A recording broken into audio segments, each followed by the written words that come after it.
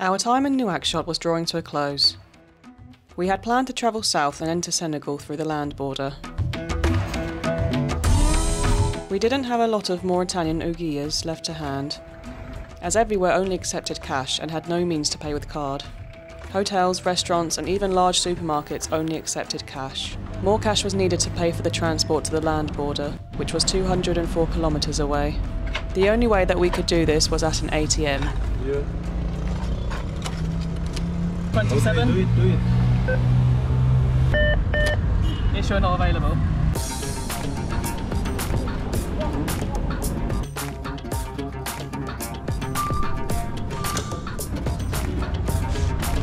Yeah, it's not even open.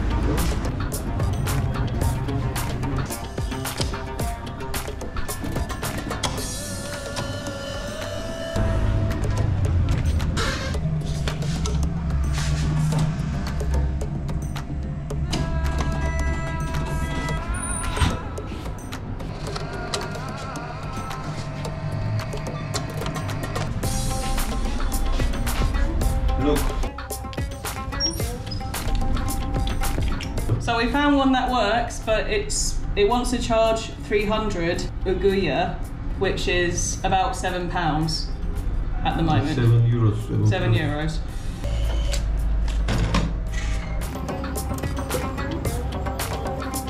And let me try my Visa card. Yeah, so this one doesn't charge commission if you use a Visa card at this bank, BMCI.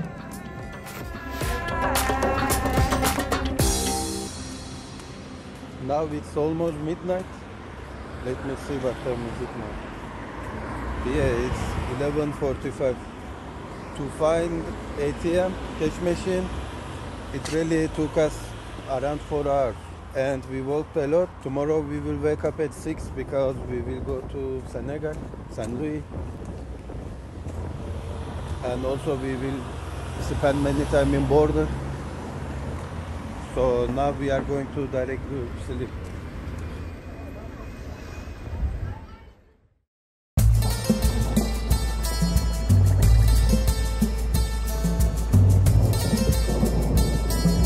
The best way to get to the border was in a shared car called a Sept Platz. The meeting point was in the southernmost part of the city. A Sept Platz is a saloon styled car filled with seven people, plus luggage. It is 3,000 ouguiya per person, plus 1,000 per large bag. Yeah, one. Sen? Okay, okay. Wait, wait, wait, wait.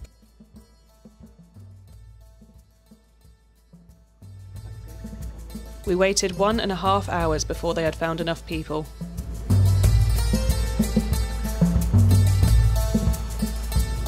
The two of us were squeezed with two women in the back of the car, whilst three men were sat at the front.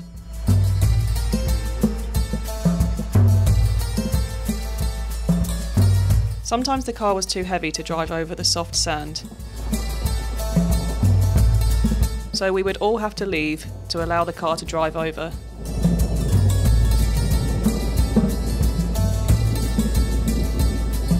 According to the satnav, it was going to take almost three hours to go 130 kilometres, but it was going to take even longer than that. Because every now and then, the car would abruptly stop in the middle of the desert so everyone could pray. We drove through the desert for more than four hours before we reached the Rosso Senegal border.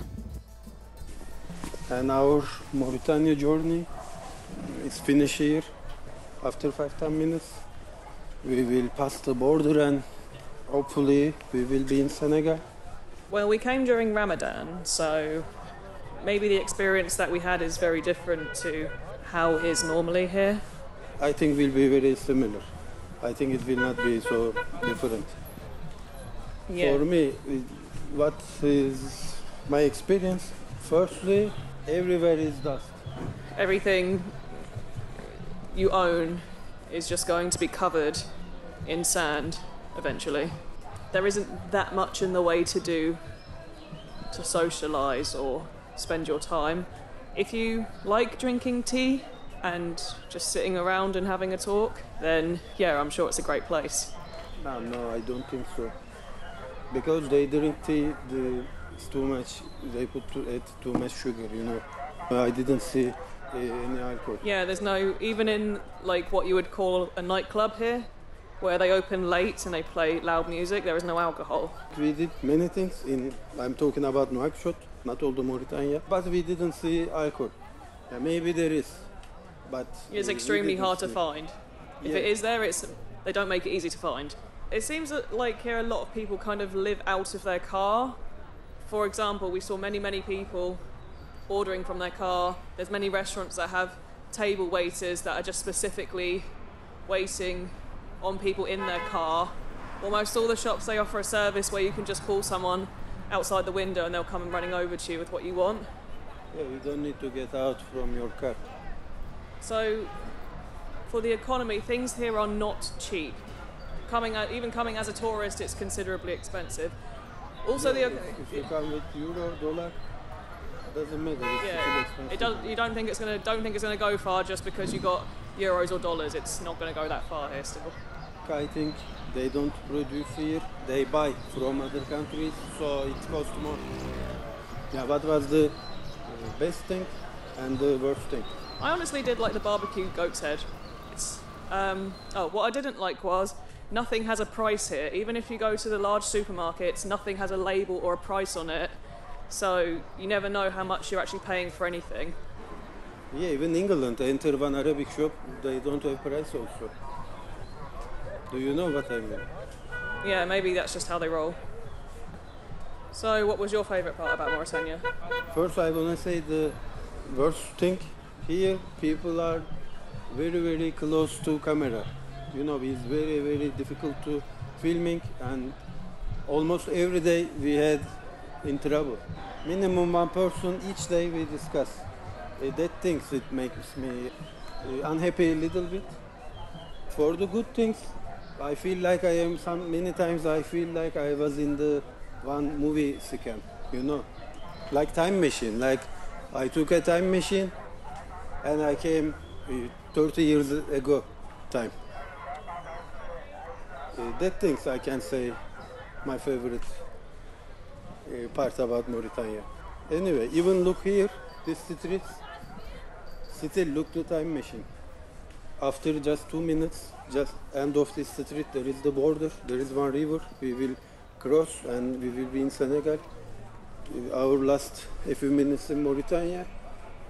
Thank you for everything and see you in Senegal. Yeah, thanks everybody. Um, we'll let you know how we get on with the border. Coming up on the next episode, we spend hours waiting for our passports to return at the Rosso Senegal border. Got it? What about mine? What about mine? and we drive across the desert in this car to St. Louis in Senegal.